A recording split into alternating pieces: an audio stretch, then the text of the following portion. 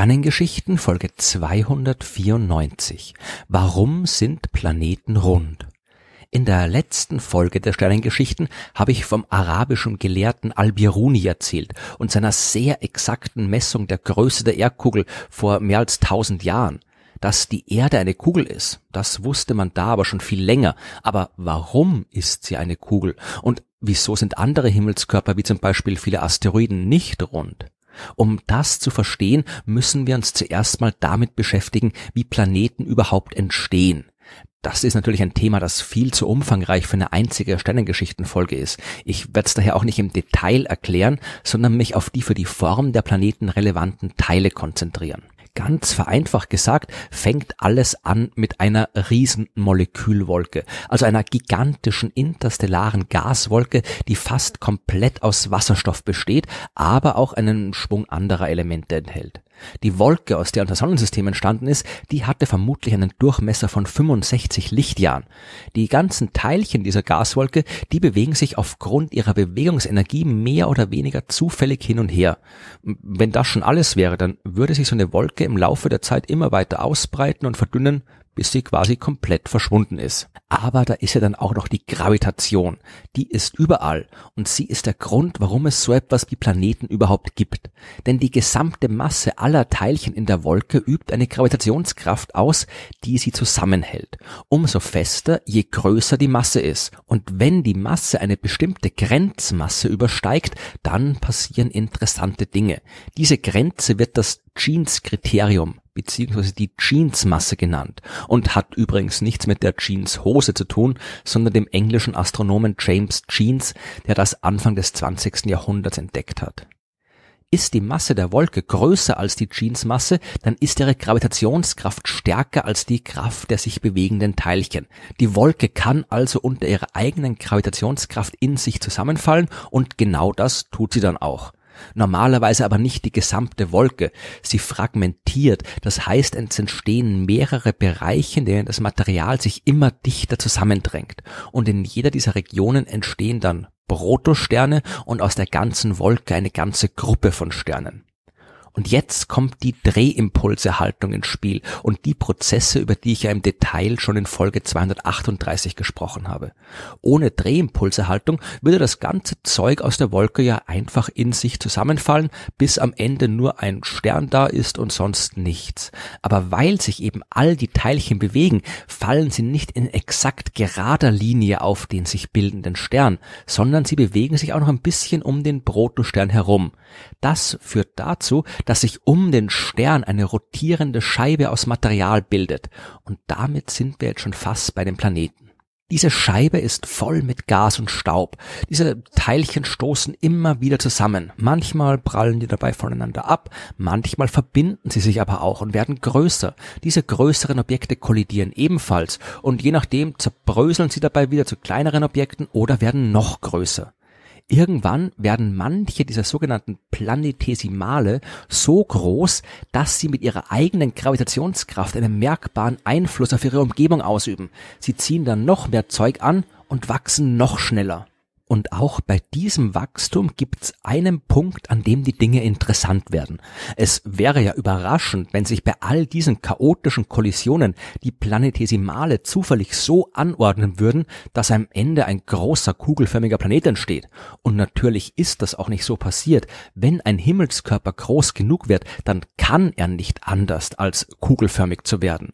Das liegt am sogenannten hydrostatischen Gleichgewicht. Man muss hier zwei Kräfte betrachten.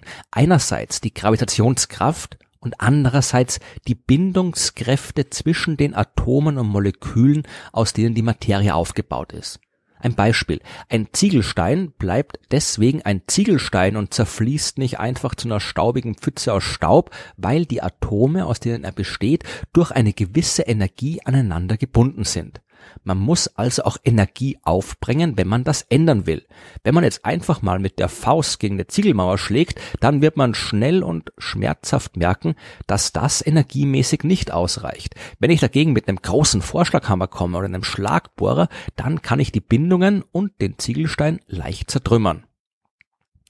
Wenn sich in einer Scheibe aus Gas und Staub um einen jungen Stern aus Atomen und Molekülen größere Objekte aufbauen, dann haben die zuerst mal keine irgendwie bevorzugte Form. Vereinfacht gesagt, dort wo gerade ein neues Atom dran knallt, da bleibt's auch kleben. Die Formen der so entstehenden Planetesimale sind daher auch sehr unregelmäßig. Diese Dinger können mehr oder weniger irgendwie ausschauen und sie sind ein wenig wie die Ziegelsteine aus dem Beispiel von vorhin, die ihre Form behalten, solange sich nichts ändert. Je mehr Masse so ein Planetesimal aber ansammelt, desto größer wird auch die Gravitationskraft, die diese Masse auf sich selbst ausübt. Irgendwann ist dann der Punkt erreicht, an dem die Gravitationskraft so stark ist, dass die Bindungsenergie zwischen der Materie nicht mehr in der Lage ist, die ursprüngliche Form zu halten. Und dann nimmt sie die einzige Form an, die die Gravitationskraft noch erlaubt und das ist eine Kugel. Es ist äh, leicht zu verstehen, warum das so sein muss. Betrachten wir die Oberfläche einer Kugel. Hier ist jeder Punkt vom Mittelpunkt gleich weit entfernt. Genau so ist ja eine Kugel überhaupt erst definiert. Da die Stärke der Gravitationskraft neben der Masse auch vom Abstand abhängt, spürt also jeder Punkt an der Oberfläche die gleiche Anziehungskraft. Das ist der optimale Zustand und die Natur mag optimale Zustände. Vielleicht kann man das auch an einem Beispiel besser verstehen. Stellen wir uns vor, es ist Sommer, es ist heiß und wir sind auf einer großen Wiese im Park. Plötzlich ruft dort irgendjemand kostenloses Eis, kostenloses Eis. Wer zuerst kommt, kriegt die besten Sorten. Was passiert? Natürlich laufen alle Leute auf der Wiese so schnell wie möglich auf diese Person zu.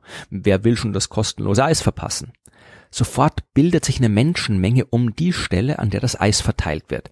Nur wir haben natürlich Pech gehabt, wir waren zu weit weg und wir haben es nicht ganz nach vorne geschafft. Aber wir wollen natürlich trotzdem das Eis haben. Wir laufen also um die Menschenmenge herum, wir hüpfen hoch und hin und her und probieren eine Position zu finden, bei der wir möglichst nahe am Eis sind.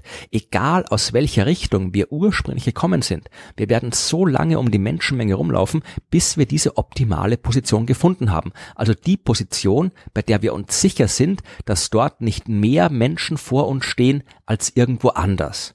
Und wenn wir jetzt davon ausgehen, dass alle anderen Leute auf der Wiese das genauso tun, dann entsteht ganz automatisch eine Reihe von Kreisen um das Eis herum.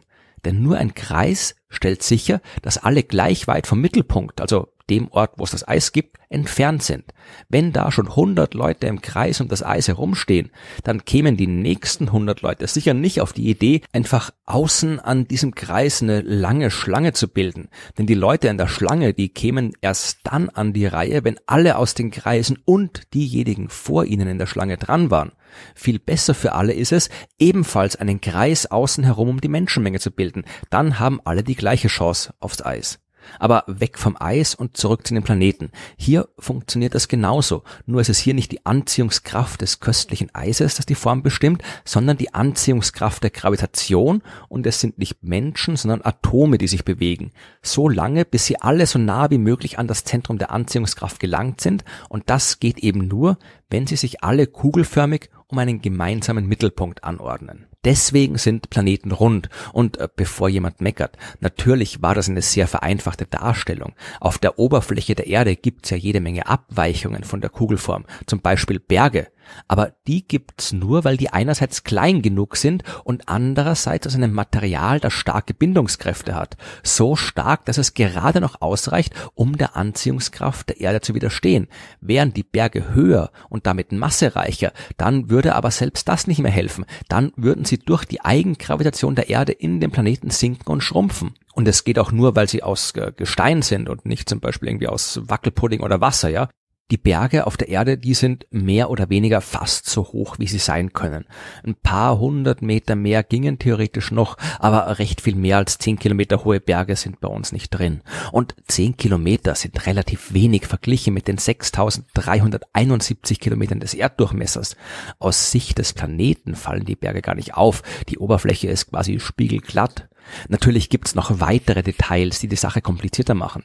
Die Rotation eines Planeten und die dadurch erzeugten Fliehkräfte wirken der Gravitationskraft ebenfalls entgegen, was zu Abweichungen von der Kugelform führt. Es gibt Gezeitenkräfte, die alles verformen. Es gibt, wie ich in Folge 256 erzählt habe, im Inneren großer Himmelskörper die durch radioaktive Elemente freigesetzte Wärme, die dazu führt, dass festes Gestein flüssig wird, was dessen Zusammenhalt natürlich schwächt und so weiter. Aber sieht man von diesen Details ab, dann haben Himmelskörper schlicht und einfach keine andere Wahl als rund zu sein, sobald sie eine gewisse Größe überschritten haben. Dafür sorgen die fundamentalen Eigenschaften der Natur.